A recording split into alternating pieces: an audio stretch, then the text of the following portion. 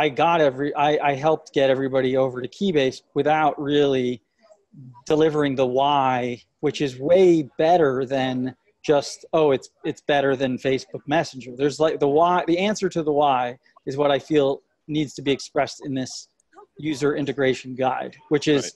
in these use cases you'll see how keybase has these extra superpowers that we haven't even touched on and they're best touched on through like these sort of very um, unloaded um, topics. Like the, the, the, the skincare hub topic is so great because nobody's showing up with all of these bad experiences about project management. Like we're just going to look at a use case and we're going to, so the, let's look at the outcomes and you'll see what I mean. So like, the, the, and this, I'm using Oliver's question method. So what is the outcome of this document that I'm describing, this guide? The Keybase guide will provide the stakeholders inside PKE and people outside PKE with a clear understanding of how we use Keybase as part of a general toolkit for collaborative intelligence. So how we're using it not just to, to message each other, but as part of a much deeper toolkit that includes Memex, Kendra, etc. And that we're going to use the guide to empower the members to engage in workflows for data representation, annotation, organization of curated collections of bookmarks and web pages via Memex. And the, the outcome will accomplish the following four things. We'll guide people, the reader of this document, through setting up their Keybase account.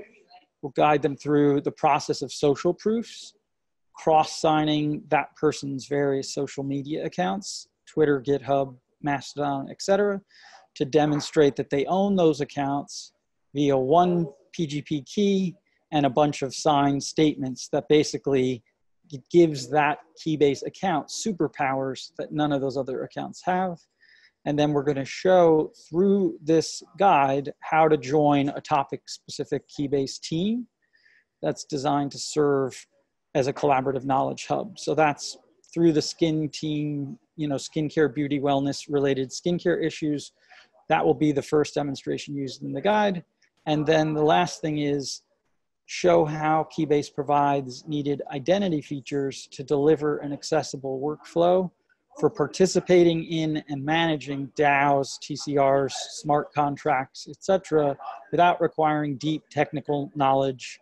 So the skincare example will showcase how Memex, Kendra, and Totem depend on Keybase identity to deliver the ability to like attest and attribute that I worked on this, I contributed that, I annotated this, and so yeah, that's and then I, I put a link to the old video, but um, I want to make a new. So it's the the two artifacts that speak to that to do are a a guide, a PDF guide, and a new video that is like a series of you know screen um, gifs and just really clear. And I think that these two things will form the basis of like a really strong foundation for one part of it's like the basis for the workshops and a lot of other things but anyway